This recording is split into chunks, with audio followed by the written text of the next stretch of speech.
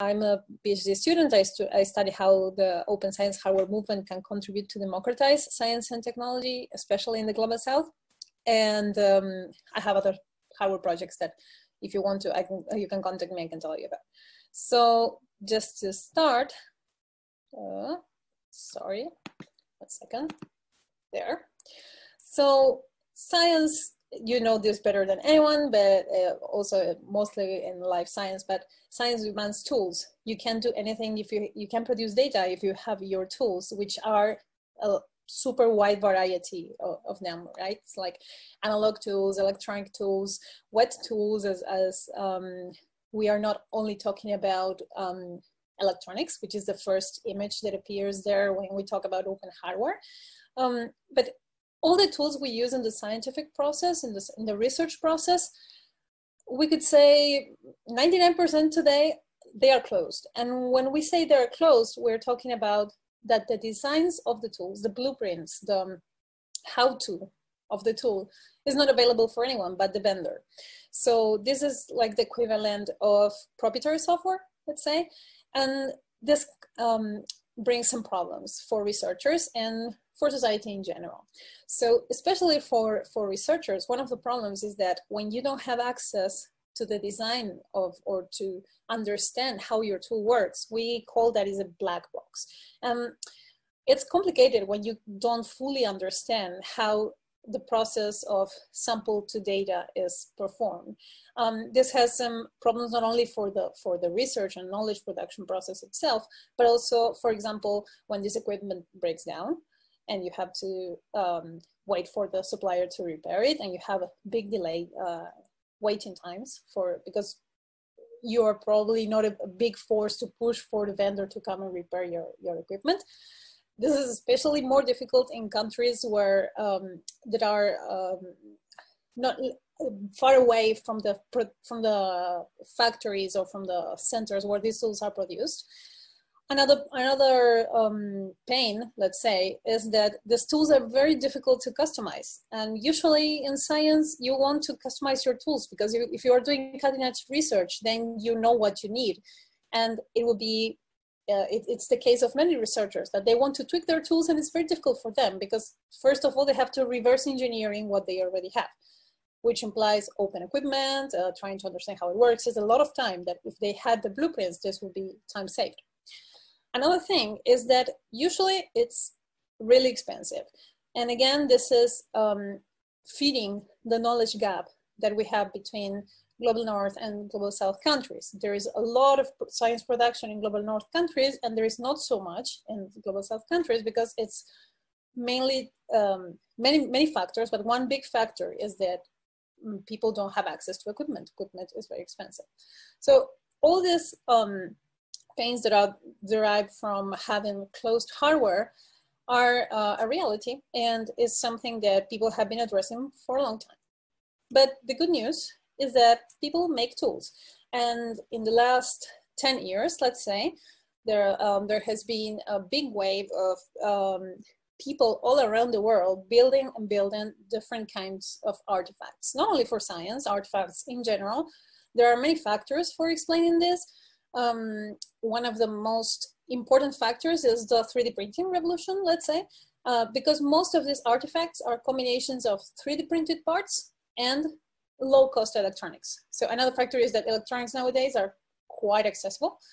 And another important thing is that the arrival of boards, easy boards like Arduino, allowed um, not only researchers, but people in general, allowed people to tweak electronics, to play with them, to um, uh, as Yo was uh, mentioning, do an iterative process over electronics, improving the designs, trying. You don't have to be able to solder uh, in order to try things. So everything is becoming easier and people are just building stuff. So in this slide, you see some of the um, open hardware for science designs that I wanted to showcase.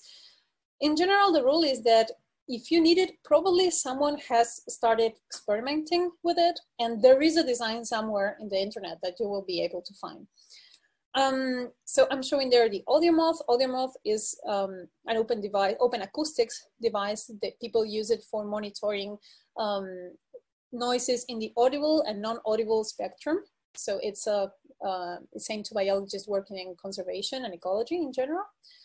Um, the other one is um, a very high-tech device, uh, which is an open AFM, an atomic force microscope. And this is developed by uh, EPFL at Lausanne researchers working on a laboratory of nano and bioinstrumentation. Again, they have been uh, dealing with uh, closed materials all the time and they work on developing instrumentation. So they wanted to, they reverse engineer everything they could and they wanted to document it so people don't, go, don't have to go through that all over again every time.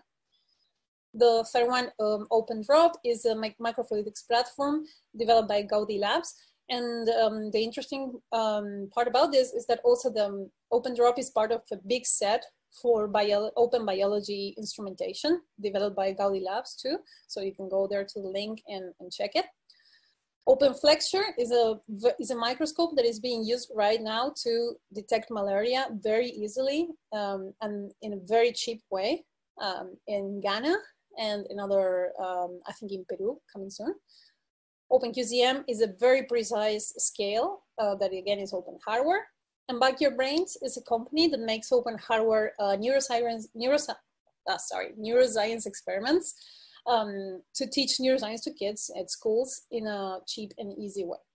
So all of these equipments, and these are just examples, are um, open science hardware tools that have some advantages over the proprietary ones in general, and uh, this is um, not, um, oh, sorry, I was seeing the chat. we use backyard tools in our brain Oh yeah, yeah, backyard tools is super, is super popular, it's super nice too. So um, some, some characteristics of open hardware or why are people building stuff? In general, um, open hardware for science is more affordable than proprietary options. So this doesn't mean that it's low cost because there is a um, big uh, preconception and misconception about open hardware that all open hardware is low cost, do it yourself, and therefore it's associated with less quality. And uh, it's, a, it's a common um, question that I get like from, from researchers saying, can I publish a paper in Nature using open science hardware? Well, yeah, you can. And there are like people are using open science hardware to publish in, uh, in journals with no problem at all. Um, this leads me to another important um, fact, and is that if we know how tools work, then we can talk about real reproducibility. So we um, usually try to push open hardware into open science uh, discussions because for us it's pretty important that in this whole reproducibility crisis we talk about tools right if we know which are the tools that people are using then we can absolutely reproduce what they have done in their research. Another important thing, as I was mentioning before, is that this is repairable. So if this is why universities are seeing open hardware with good eyes right now, because if you have a, a fab lab, which is something common at university, and you have techie people there and you, your tool is open hardware, then maybe someone there can help you repair it and you have less delays and you have less waiting times for you to use the equipment again. And then there's the, the learning and fun. Lots of people develop tools because it's a lot of fun. And also because they can customize and tweak instruments a bit just to experiment with new things without this, this waiting times. Another um, benefit that is usually overlooked a bit uh, when, when we give talks for academics and researchers is that it's not, um, it's a big thing for people in the global south it's a big thing when you have really small budgets to do your research and suddenly with the same money instead of having one tool to do your analysis you have 10 and we're talking of these orders of magnitude in terms of uh, reduction of costs. There are uh, there is research on this where people say there is a 90% reduction of cost in, in equipment. So it's not it's not a small thing. So um, there are lots of people doing open hardware for science, and I would say most of them now are gathered in a community called Global Open Science Hardware, or GOSH. This is a community which was created, like the first gathering was in 2016, then uh, had, we had another gathering in Chile in 2017, and China in 2018. There is the manifesto that you can check online. I will give you the links afterwards, but um, the idea of this is that there is a roadmap of the community and everything is very horizontal and discussed because it's a very diverse community.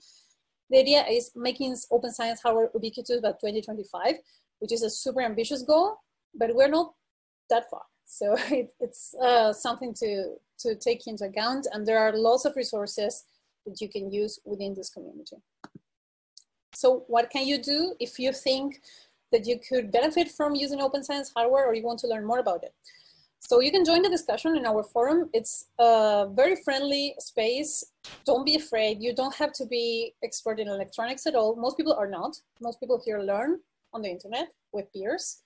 Um, you can document if you have a development, um, different platforms. Many people use, of course, uh, GitHub for software, but they also use it for uploading uh, designs of electronics and 3D printed parts. There are specific platforms for this that are now are more than ever. Uh, DocuBricks is one, Kitspace is another. Some people do it in Open Science Framework too. You can follow Open Hardware Leaders, sorry, which is our program for supporting people who are um, making open science hardware in science and outside science. And there is also a journal that is managed by the community, the Journal of Open Hardware. And the special thing about it, also besides being a community journal, of course, open access, is that we review um, the designs, which is not common, right? So you submit your source files and we take a look at them and we, we make sure that everything you have there is open and available to everyone. So some useful links, I leave them there. You have the links to the slides in the notes.